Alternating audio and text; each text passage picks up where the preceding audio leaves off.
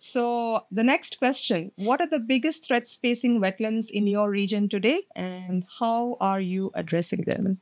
So, wildfires is the biggest threat in our wetland. Um, to prevent these wildfires, we create a community fire brigade. Today, we have more than 22 different farms participating in this program, and we are protecting an area of 160 uh, uh, square kilometers. It's a huge area, this, the size of São Paulo city. São Paulo city is the biggest Wow. city in Latin America. Mm. And we are working together to protect their lands. We are working to protect the, the grassland for the cattle, but we are protected forests not to be burned during the, the dry season. And this one was really dry, wasn't it?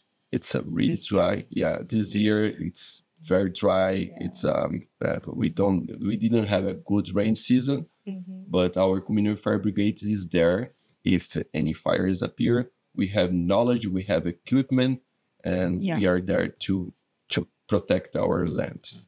Like, Wetlands and fire does not go together, right? It's Yeah. it's It's strange. It's strange, yeah. yeah. it is strange. Yeah. But that is where climate change is coming in. yeah. And again, that is one of the major threats. Yeah. So, land use policies, climate change are the major threats. And I think what we are doing is to take the word forward so that we can build more advocacy, more voice for wetlands.